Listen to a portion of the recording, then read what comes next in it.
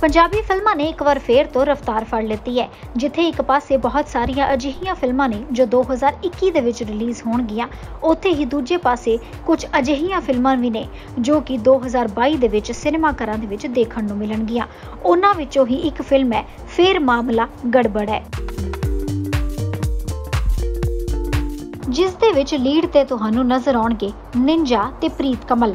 ਇਹਨਾਂ ਦੋਨਾਂ ਦੀ ਜੋੜੀ ਪਹਿਲੀ ਵਾਰ ਸਿਨੇਮਾ ਘਰਾਂ ਦੇ ਵਿੱਚ ਦੇਖਣ ਨੂੰ ਮਿਲੇਗੀ।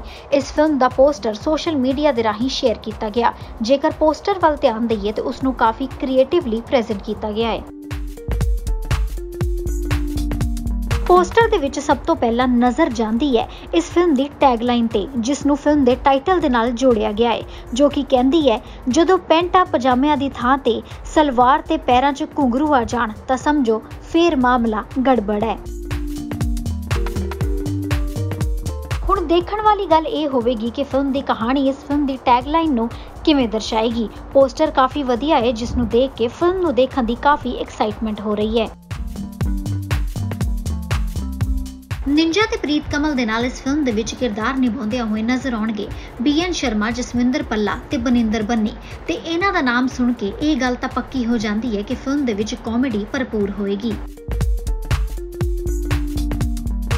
11 ਮਾਰਚ 2022 ਨੂੰ ਇਹ ਫਿਲਮ ਸਿਨੇਮਾ ਘਰਾਂ ਦੇ ਵਿੱਚ ਦੇਖਣ ਨੂੰ ਮਿਲੇਗੀ ਜਿਸ ਨੂੰ ਡਾਇਰੈਕਟ ਕੀਤਾ ਹੈ ਸਾਗਰ ਐਸ ਸ਼ਰਮਾ ਨੇ। ਜੇਕਰ ਨਿੰਜਾ ਦੀ ਅਦਾਕਾਰੀ ਦੀ ਗੱਲ ਕਰੀਏ ਤੇ ਉਹ ਹਰ ਵਾਰ ਹੀ ਕਮਾਲ ਕਰ ਜਾਂਦੇ ਨੇ। ਸਿੰਗਿੰਗ ਦੇ ਨਾਲ ਨਾਲ ਉਹਨਾਂ ਦੀ ਐਕਟਿੰਗ ਵੀ ਸਾਰਿਆਂ ਨੂੰ ਕਾਫੀ ਪਸੰਦ ਆਉਂਦੀ ਹੈ। ਹੁਣ ਦੇਖਦੇ ਹਾਂ ਕਿ ਇਸ ਫਿਲਮ ਦੇ ਵਿੱਚ ਨਿਭਾਇਆ ਗਿਆ ਉਹਨਾਂ ਵੱਲੋਂ ਕਿਰਦਾਰ। ਪੰਜਾਬੀ ਸਿਨੇਮਾ ਨੂੰ ਕੀ ਦੇ ਕੇ ਜਾਏਗਾ?